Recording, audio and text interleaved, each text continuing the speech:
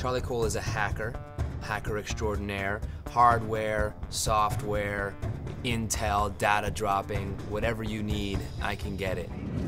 New and improved. It's sort of like your SMI light when you're on the ground. Data transmissions, drone controls, scanning. Gotcha.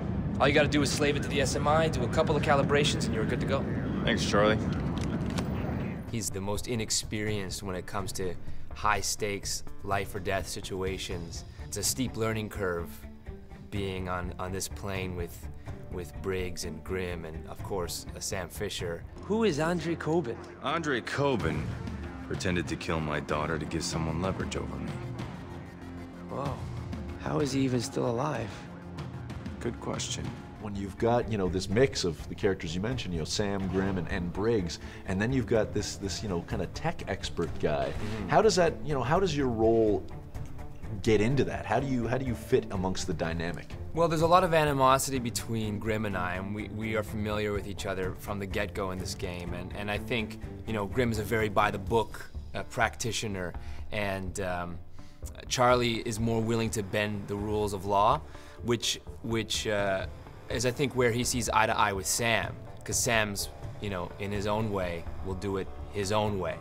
And um, it's good at, from the beginning, Sam's on, Sam's on Charlie's team as much as there's they, a lot of jokes at his expense and, and he's sort of the run to the litter on the team, uh, he's invaluable. Charlie, rustle us up some transport, would you? Somebody have blends, panel van? You got it.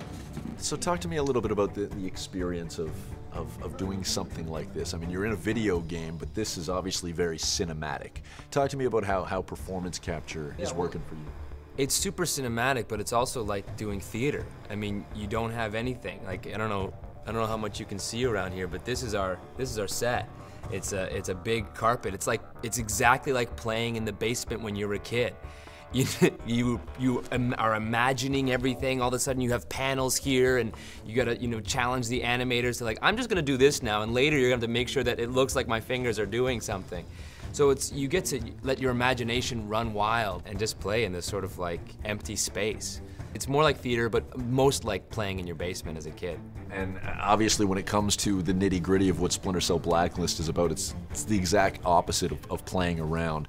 When Right. when you think about you know kind of the, the scope of this game and, and how um, feasible the threat is, you know how, how much do you attach yourself to that idea? Again, not getting the details, but people, you know, people are dying, and and especially for my character who's who's not used to that, I it's.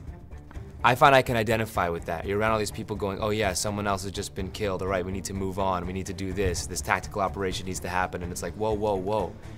Hang on a second. Someone's just died. You know, and you kind of want to, you know, take a moment and, and sort of process that, but there isn't. You know, it's it's it's um, that's part and parcel of these sort of situations.